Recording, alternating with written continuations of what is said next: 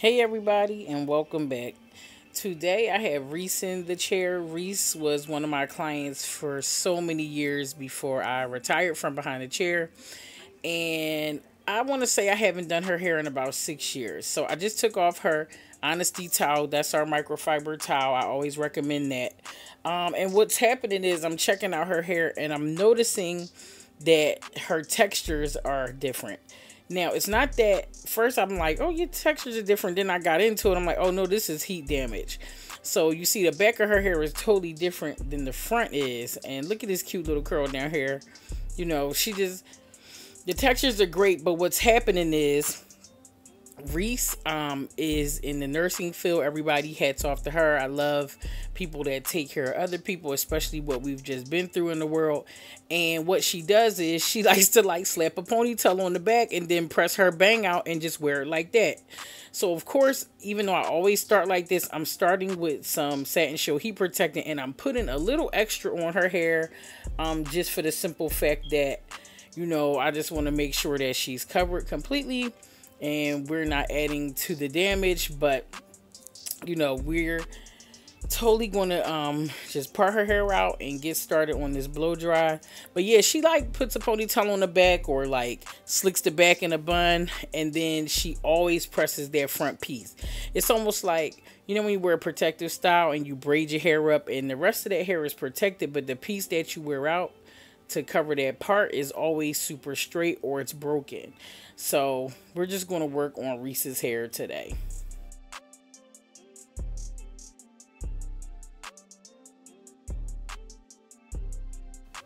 You always want to make sure that you're using a wide tooth shampoo comb when you are combing out the hair and just combing through gently starting at the ends and working your way up to the roots. Don't ever start by going into the roots with the comb because then you end up snagging and breaking the hair and then I'm just going to go in with my Denman brush and the blow dryer and I am blow drying down. If you notice, the blow dryer is always angled down because what I am doing is when I use the heat protectant, sometimes people are like, oh, I don't think that's enough, but it is enough. A little bit goes a long way, and that blow dryer is going to super help you with that because what's happening is the oil is basically being spread out throughout the hair and being distributed evenly.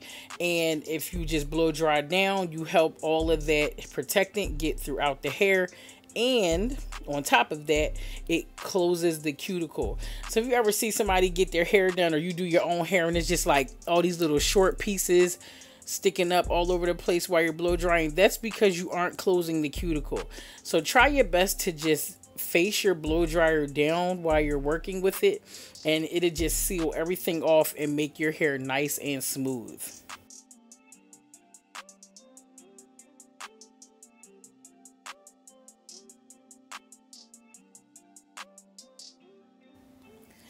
Um, when I am explaining to you guys on YouTube, I'm trying my best to always just sound super relatable. And I know sometimes I'm going to use terms that I learned in hair school and that I learned doing research. And I just always want to be relatable. You see, right now her hair is like steaming a little bit, but that's because I put extra heat protectant in it. So whenever your hair is doing that while you're blow drying it, it's either because you left some um, conditioner on your hair or you put a little extra heat protectant, but that's literally just the product doing that. It's not hurting the hair at all. It's just how it reacts to the heat of the blow dryer. Oh yeah, but yeah. Back to what I was saying. I always want to sound relatable. I don't want to overdo it and just be too extra on my approach with the education because I need you guys to understand that the truth of the matter is most people watching the channel or watching YouTube didn't go to school and don't understand all the terms. So it's like, I just want to sound relatable and I want you guys to feel like you're able to do this at home. You know what I'm saying? So when I say seal the cuticle or when I say that basically the hair is like frizzy or its pieces sticking up, it's literally because the hair splits all down the the shaft. So all down the strand of hair, look at look at the shrinkage. Child, what? look at the shrinkage. But you know, when you are when your hair splits, sometimes it splits all throughout the strand of the hair. So the only way to smooth that out is to just hold that blow dryer down and just blow that product evenly throughout the hair and it'll make it super smooth. And that's why the hair usually usually looks like it's already straightened when you blow dry it. Even if it's like on the coolest temperature it looks like it's already been straightened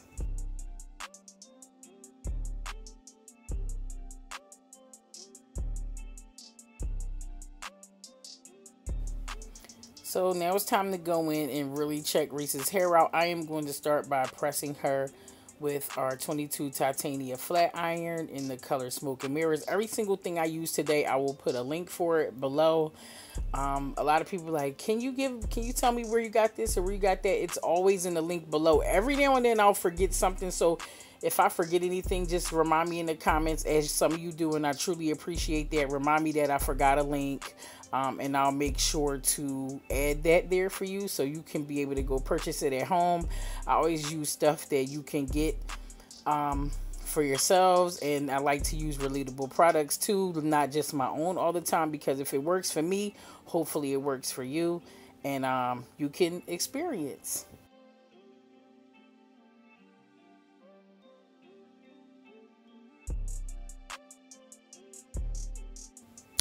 Because Reese hasn't wear, worn her hair out in a while, we decided to just do it straight so she can enjoy her length. And we also feel like it's the best way to see what her ends are doing and how her hair is holding up so we can tackle it in the right manner.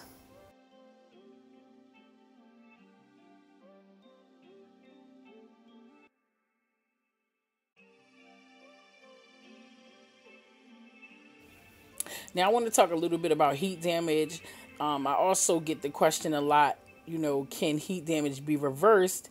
And the truth of the matter is, it cannot. I know that sucks. I know that's hard to hear, but it cannot be reversed. It's just like getting a relaxer. You can't reverse a relaxer, it literally has to grow back out of your scalp natural for you to enjoy your curl pattern again. Now, with heat damage, it's the same thing. You literally just have to cut away at it. Um, and I'm gonna tell you this: it this is such a huge like debate, um, especially in the natural hair community. But this is such a huge debate. But heat damage doesn't necessarily mean that your hair is just completely messed up. Some people thrive from heat damage because although they don't get relaxers um, or a chemical manipulator on their hair, they still wear their hair straight all the time. And the more your texture is set in your hair, the harder it is to keep it straight. So, a lot of women love the fact that their hair is broken down because heat damage is just basically the bonds of your hair being broken down over time. Some people get heat damage the very first time because they use too many passes of a flat iron or they go somewhere and the stylist uses too many passes. You know i tell you guys one is enough. Or if you're getting curls after a press two is fine too but i think that you should stretch out how often you get your hair pressed or how much you add heat to your hair. So I always tell people to go like once a month or once every six weeks. Or me, I just press my hair once a year now. I'm I can't believe that because I used to wear my hair pressed all the time. But now I just get my hair pressed once a year and I look at it and take care of it and I still trim it every two and a half months to three months. But I don't press it anymore. So some people thrive off of their their bonds being broken down with the heat and they call it heat trained. Now i'm not telling you guys oh go get your hair pressed a lot so your hair can be heat trained. I don't think that's the proper way to do it but i don't think it's necessarily wrong either especially if you're not wearing your natural texture at all. If you're not interested in it it's kind of like okay it's okay if my curls aren't here anymore because i'm not interested in wearing them. And as an individual that's okay. We do a lot of judging and worrying about what other people's doing with their hair. Now what i will say about heat damage slash or some people call heat training what i will say about it is that the hair is definitely a lot thinner and a lot more i would say just in the fine family you know what i'm saying? And and it's like it makes it easier to press. It lasts a lot longer but sometimes it can end up dry and things like that. So you just want to make sure that you're taking care of your hair because you do not want to have something like heat damage like affect how your hair is looking all for the sake of just wearing it straight. You have to take care of it. If you are pressing your hair all the time and your bonds are broken down, just make sure that you are doing deep conditioners all the time, that you are trimming those ends and you are taking care of your hair properly because it will hold up for you. It will, but it definitely would be a lot fuller if you allowed your texture to return.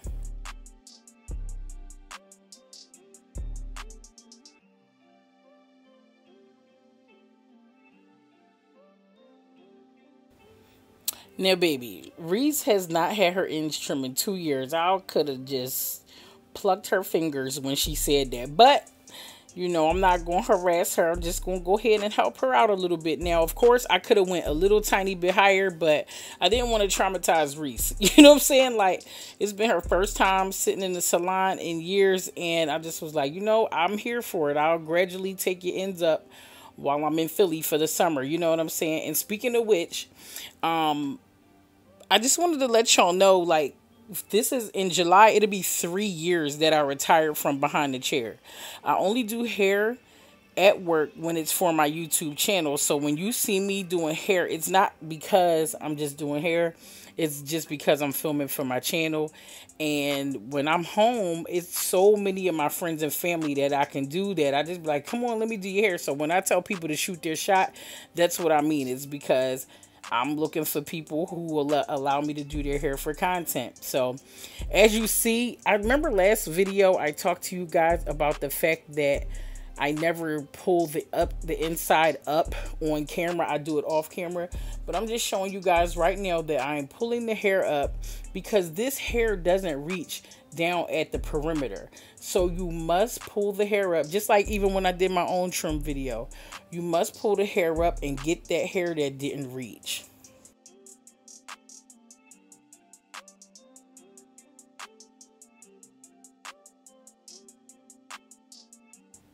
Now, if you are trimming your own hair, or if someone, if you're at the salon getting your ends trimmed, and they only do the perimeter, just kindly ask like, hey, do you think you could like pull my hair up and just get those ends that don't reach at the at the ends the way you just did you know what i'm saying? Just be kind and, and mindful of how you know you approach the stylist because that could be a hard conversation to have. But when you're paying and you want your hair healthy you know what i'm saying? Just handle it. You see that hair right there? It doesn't look like it was hit at all and that's because it was not.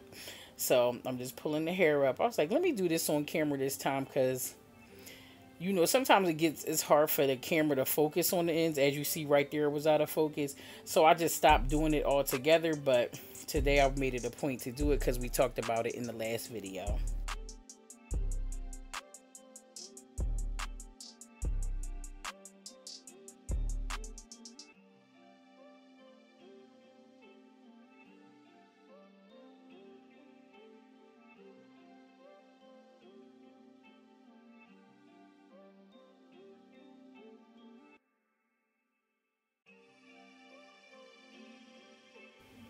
So now that we basically have these ends done, I'm just pulling up from a little lower just to make sure those ends was chunky. I gotta show you something. I'm introducing to you guys Peggy Sue. This is the very mini 22 Titania. I name her Peggy Sue because you know Jay-Z song um, he'd be like, I got a little tutu. I call her Peggy Sue. You know, I'd be in my little marketing bag. I know that's a funny name to call it, but that's what she is. Like, look at her she the she the 22 titania little cousin. And she is here to press your edges. She is here for your baby hair. She is here for your short pixie cuts. Now the mini iron peggy sue is it's made for edges so it only goes up to 390 degrees because you are not supposed to be putting that con that amount of concentrated heat on your edges like that. So i'm just going in and just tapping her edges. I made sure to press her hair first so we can get all the hair on the inside and then i'm just going to take this little iron and I am going to just go around the edges just to make sure they're smooth. I know some some videos are like, well, you guys, you didn't get the edges. Edges aren't mandatory. It's up to you if you want to go in and make sure that your edges are smooth. But Peggy Sue will help you, okay? And they drop on July the 1st. That's this Friday coming up. So hopefully it fits for you um, not only does it go to 390 degrees which is the safe temperature for your edges but it's also a ceramic plate because a ceramic plate helps with making sure that the heat is regulated on your edges. Edges are usually a lot thinner and a lot shorter than the rest of your hair. So we just want to do everything as safe as possible when it comes to deeper than hair. So these irons are made for you. If it sounds like it's something that you would love, you can get them this Friday. Now, Reese and I decided that we're just gonna go ahead and curl her hair. we're just gonna go ahead and curl it because we just felt like we wanted a little more oomph to the hair. So I'm just going to go in and I am taking really huge sections and I am just doing a light little little shink to dink. You know what I'm saying? Like we're not going to make it super tight and we're not going to feather it. We're just doing a little something something. So that's what we're going on and doing right now.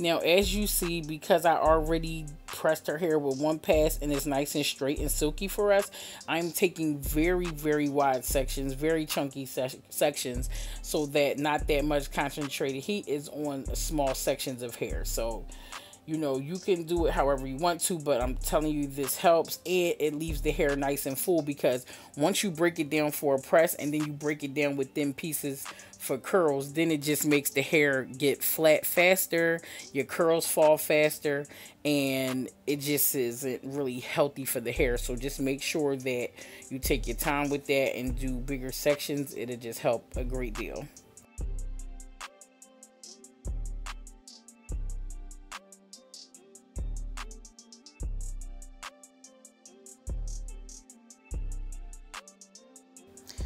I want to know how do you all love your hair? Do you love it curled? Do you love it straight? Me, I just love my hair straight so bad.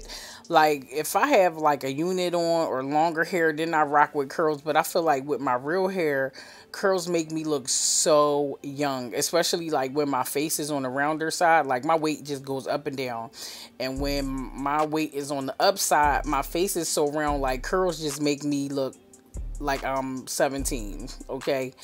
And so I just like longer, straight, elongated hair. It just helps me with my vibe and my look. But I think curls are so beautiful. And I also love how curls allow the hair to look a lot fuller as well. So what's your opinion? Like, what's your favorite style for yourself when it comes to straight or curls? Um, just give me a ponytail for real, for real. like, just give me a pony. Like, I just want something real convenient and chill. And ponytails can be worn on the red carpet or they could wear, be worn to the market, the gym. Like, they're just so everything. And you don't have to worry about them, like, giving up on you in the middle of the day. You know what I'm saying? But, again, like, when it comes to straighter curls, what's, what's the vibe for you?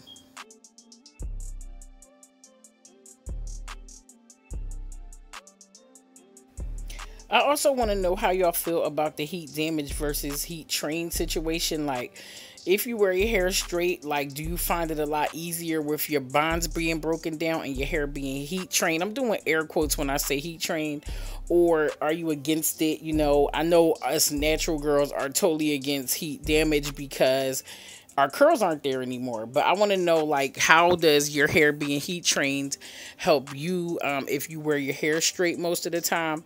Um, because you know people need to hear that opinion um, because you know i'm not biased you know i'm i understand both parties but let's like have a little open discussion without judgment. Please do not judge each other or act crazy because sometimes people be getting crazy in the comments. I'm like guys chill you know? Like this is a positive platform and I just want us to love on each other and understand that everybody is entitled to their own opinions and just stay respectful.